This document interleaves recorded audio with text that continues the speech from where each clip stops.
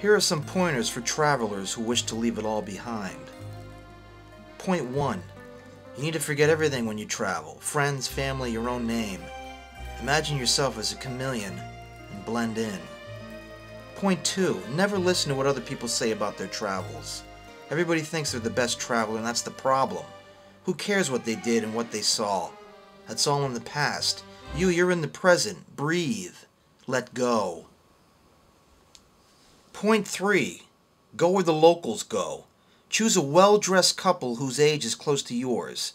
If they go to the bakery, you follow. If they shop for underwear, you do the same. If possible, strike up a conversation. If they call the police because you've been stalking them, do not run. Stay right where you are. Remember, the police are locals too. Point 4. Don't have a game plan. When you get up in the morning, say to yourself, I have no idea what I'm going to do today, and then go out and do it. You'll be surprised where your feet will take you. Try not to think so much. If you wander too far from where you're staying, stay put and see what tomorrow brings. Breathe. Let go. Forget your name. Point 5. Avoid people who speak your native tongue. There's nothing worse than hearing, Hey, Joe, where did you put the lotion? I can't find the lotion, Joe. If you hear your own language, immediately head in the opposite direction.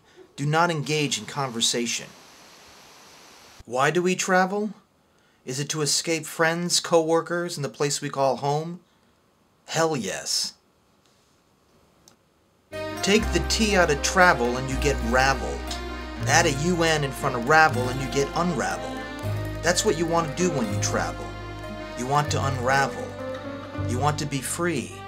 Free to better yourself.